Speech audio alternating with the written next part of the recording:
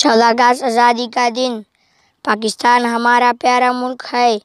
इसको हासिल करने के लिए हमने बड़ी कुर्बानियाँ दिए हैं। इसीलिए इसके अहम दिन हम बड़े जोश व खरोश से मनाते हैं। वतन हमारा ऐसा ना छोड़ पाए कोई। रिश्ता हमारा ऐसा ना तोड़ पाए कोई। दिल हमारा एक है। एक है हमारी जान। पाकिस्तान हमारा है, हम सब की ये शान। पाकिस्तान बनने से पहले पूरी पर जहीर पर करीबन सौ साल तक अंग्रेज़ों का कब्ज़ा रहा। अंग्रेज़ों से आज़ादी हासिल करने के लिए मुसलमान मुसलसल कोशिशें करते रहे। अल्लाह ताला मेहनत का फल ज़रूर देता है।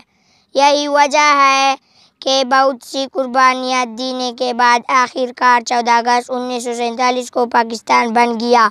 इस कामयाबी की खुशी में हर साल चौदह अगस्त को तमाम दिन खास तकरीबा मुनद करते हैं। इन बुज़ुर्गों की कोशिशों की याद को ताज़ा करने के लिए तकरीरें करते हैं। उन्हें अजीम कुर्बानियाँ देकर हमारे लिए ए वतन बनाया। हम इनके एहसानात कभी ना बोलेंगे। मैं अपने तकरीर का अहतमाम इसे शेर से करता हूँ। हमारा खाक से खुशबू वतन की आएगी। हमारा खाक से खुशबू वतन की आएगी। हमारा खून है शामिल इस वतन की मिट्टी में।